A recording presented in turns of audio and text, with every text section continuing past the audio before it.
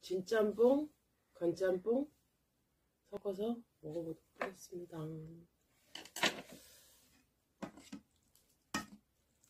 불맛이 나는 냄새가 좋아요.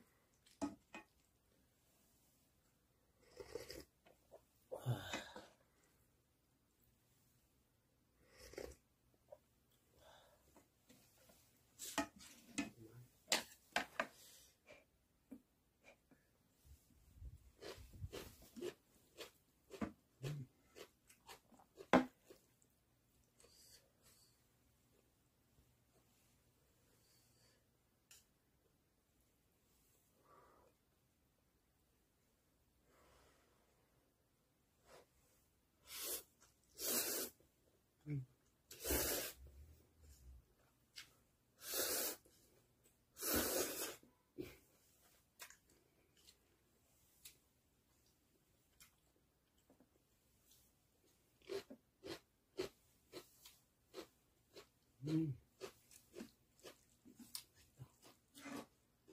섞어 먹어도 맛있네.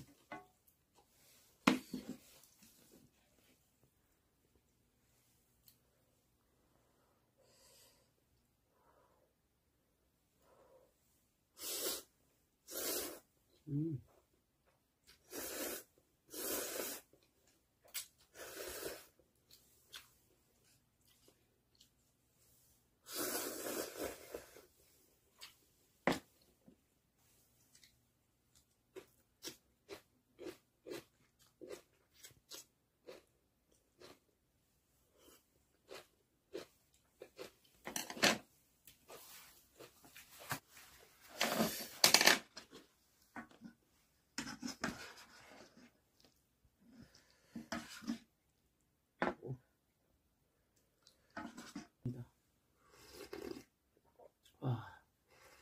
음, 죽네.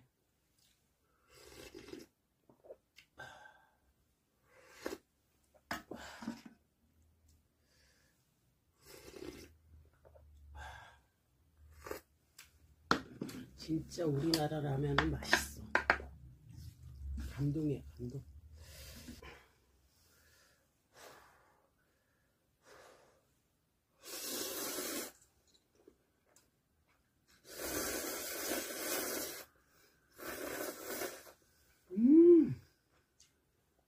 哇。